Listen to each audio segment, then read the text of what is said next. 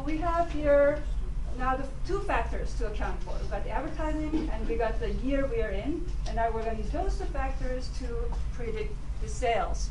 Okay, so this time we can't just use the intercept and the slope because those are only good for when you have one independent variable. Here you have two independent variables, advertising and the year. So now we got to do something else, something completely different. And here are the instructions. Uh, there are two ways. There are two ways to do multiple regression. And there's more than two ways, but here's two ways. And I'll show you. Using the LINEST function, this will work for both Mac and Windows. Okay, so that's more important. The other way, using this data analysis tool pack, is not available on Mac. So we're going to concentrate on using using this function. Okay, but the, the data analysis one, uh, I gave you the instructions here, so if you don't get to it, and if you have Windows and you want to try it, and of course, uh, uh, feel free to try it. So what we want to do is here, uh, we want to uh, make a, a regression equation.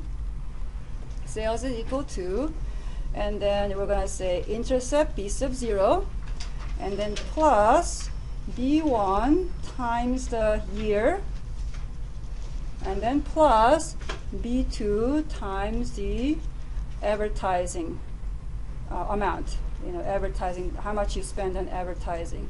So we want to uh, we want to come up with a regression equation like this. So this is just it's just uh, the same as before, except you have this one more term. So one more term with uh, advertising dollars. So you have now you have three numbers. So not just intercept and the slope, but intercept and then slope one, slope two. So you have kind of two kinds of slopes, two coefficients you need to get.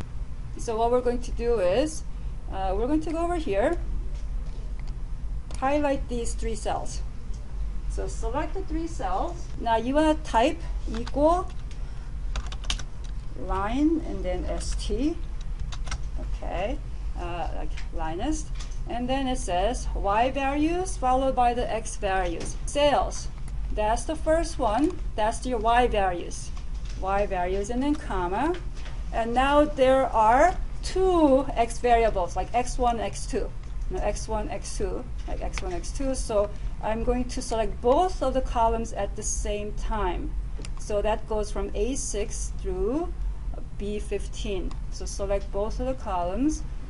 Okay and then close the parentheses and wait, don't hit enter. Okay, like it says here, hold down control button, shift button together, okay, and then hit enter, and then hit enter. And this is a special way of putting in these array functions. The array functions are those whose results take up more than one cell. Uh, so you're trying to get how many values here?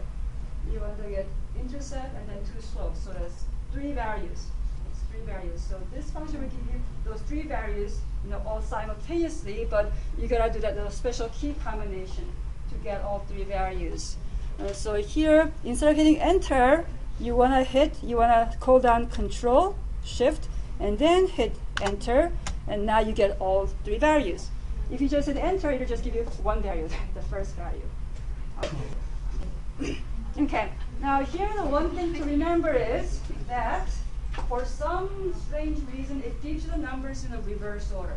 It goes backwards. So it gives you the uh, uh, b sub 2, and then b sub 1, and then b sub 0. Uh, so I labeled the cells in this way so I remember it's going to be in this order. It's not, it's not in b0, b1, b2, but it's in b2, b1, b0. Uh, okay.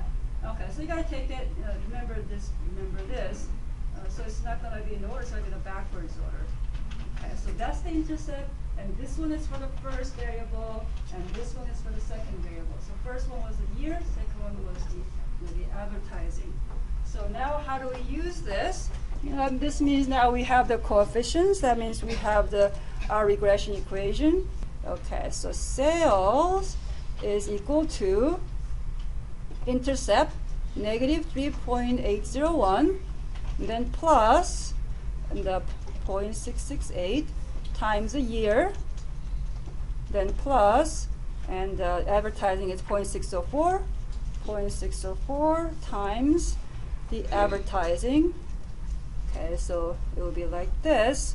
Now you could plug in numbers in here. So now it says here, it says here, predict the sales in year 11 given, so year 11, given 10% increase in advertising compared to year 10.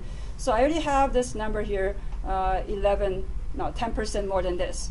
So no, 48, and then 10% more is 52.8. That's how much we're going to spend on advertising, and in year 11. So here's the year. So I plug in here 11, and then 52.8. I plug it in here, 52.8. So that times that plus 11 times this this, and then minus 3.801, and that gives me my my forecast.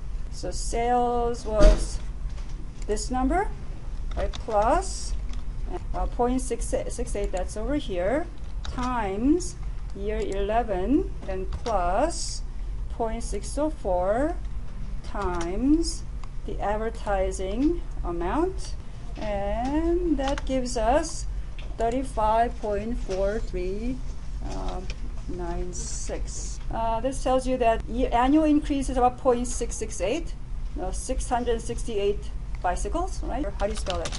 Advertising uh, remains the same, same, okay. Then next year, uh, expect to sell 668 more. Okay, so that's what this coefficient means. This is increase in the sales, increase in sales from uh, one more year, when the year goes up by one, and then the other variable remains the same. And this one says, if I'm in the same year, in the same year, if the advertise, if I spend more money in advertising, okay, uh, then that tells you how many more bicycles you could expect to sell. If the increase advertising dollars dollar by okay by now the thing is what's the increase of one here? Is it one dollar? Actually be one thousand dollars by one thousand. That is increase advertising by one. By you know, one unit means thousand dollars right?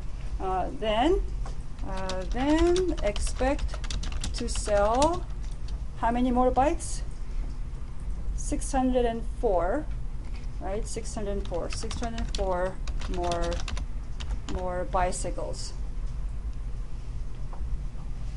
so this gives you an idea of the effect of the you know individual variables to the sales